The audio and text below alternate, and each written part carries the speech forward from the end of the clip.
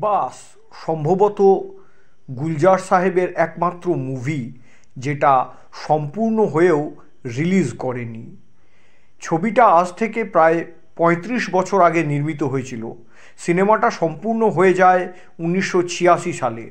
কিন্তু এই ছবিটা প্রেক্ষাগৃহে রিলিজ করেনি।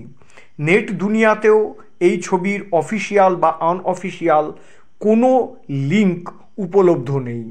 বিখ্যাত লিরিসিস্ট এবং গল্পকার এবং কবি গুলজার সাহেবের লেখা চাবিয়া নামের একটি ছোট্ট গল্পকে কেন্দ্র করে লিবাস সিনেমাটির চিত্রনাট্য লেখা হয়েছিল। এই চাবিয়া গল্পটি পরে সীমা নাম দিয়ে প্রকাশিত হয়। লিবাস শব্দটির অর্থ হলো আভরণ বা আভূষণ। এই ছবিটা মুক্তি পায়নি একটা অদ্ভুত কারণে। এই ফিল্মের প্রডিউসার ছিলেন বিকাশ মোহন, যিনি সুপার সিনেমা নামের একটি ফিল্ম ট্রেড ম্যাগাজিনের প্রকাশক ছিলেন।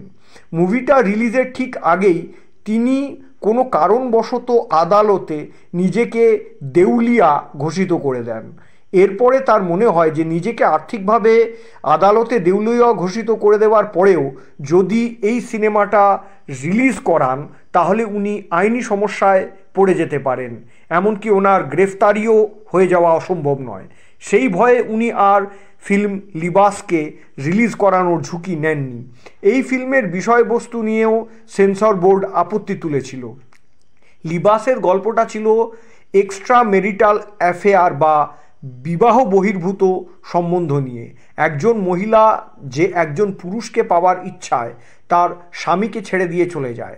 সেন্সর বোর্ড ছবির গল্প নিয়ে আপত্তি তুলেছিল এবং সেন্সর বোর্ডের এই আপত্তি মুভিটা রিলিজ হওয়ার ক্ষেত্রে একটা বড় বাধা হয়ে দাঁড়িয়েছিল। এই সিনেমার স্টার কাস্ট নিয়েও বিতর্ক হয়েছিল। সিনেমার মুখ্য শিল্পীরা ছিলেন নাসিরুদ্দিন শাহ শাবানা আজমি, উৎপল দত্ত, সুষমা শেঠ এ কে হেঙ্গল এবং রাজ বাব্বার। অভিনেত্রী স্মিতা পাটিল অভিযোগ করেছিলেন যে, এই সিনেমার নায়িকার চরিত্রে প্রথমে ওনাকে নির্বাচিত করা হয়েছিল এবং অভিনয় করার জন্য উনি মৌখিক সম্মতিও দিয়েছিলেন। কিন্তু পরে শাবানা আজমির কথায় প্রভাবিত হয়ে গুলজার সাহেব স্মিতা পাটিলের চরিত্রটা শাবানাকে দিয়ে দেন। ফিল্মের নায়ক রাজ বব্বর। প্রথমে শাবানা আজমির সাথে কাজ করতে চাননি, কারণ সেই সময়ে রাজ বব্বর স্মিতা পাতিলের সাথে রিলেশনশিপে ছিলেন। ফিল্ম লিবাসের নায়ক হিসেবে রাজ বব্বর সাইন করেছিলেন স্মিতা পাটিলের মৃত্যুর পরে।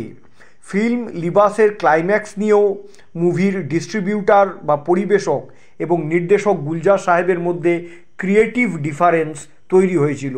ডিস্ট্রিবিউটারদের ইচ্ছা অনুযায়ী গুলজার সাহেব ফিল্মের ক্লাইম্যাক্সে কোনো রকম বদল আনতে রাজি হননি। সিনেমাটা সম্পূর্ণ হওয়ার আগেই সিনেমার অন্যতম শিল্পী উৎপল দত্ত প্রয়াত হন। তার ভয়েস ডাব করা হয়েছিল। ডাব করেছিলেন জনপ্রিয় বলিউডের কৌতুক শিল্পী জনি লিভার। লিভাসের মিউজিক ছিল অসাধারণ। আর ডি বর্মন এবং গুলজার কম্বিনেশন, যারা হিন্দি ছবিতে বহু অসাধারণ গান উপহার দিয়েছে, তাদের লিবাসই ছিল শেষ ছবি। এই ছবিতেই লতা মঙ্গেশকরের গায়া খামোশ সা আফসানা পানি সে লিখা হতা না তুমনে পড়া হতা, না হামনে শোনা হতা। একটা অসাধারণ মেলোডি। উনিশশো বিরানব্বই সালের জানুয়ারিতে ব্যাঙ্গালোর আন্তর্জাতিক ফিল্ম ফেস্টিভ্যাল এবং দু হাজার চোদ্দোর বাইশে নভেম্বর গোয়াতে আন্তর্জাতিক ফিল্ম ফেস্টিভ্যালে লিবাস ভারতে দুবার প্রদর্শিত হয়েছিল। কিন্তু সিনেমাটা কোনো প্রেক্ষাগৃহে আজও মুক্তি পায়নি। প্রডিউসার বিকাশ মোহন আন্তর্জাতিক ফিল্ম ফেস্টিভ্যালগুলিতে লিবাসের স্ক্রিনিং বা প্রদর্শন নিয়ে একদম সন্তুষ্ট ছিল না।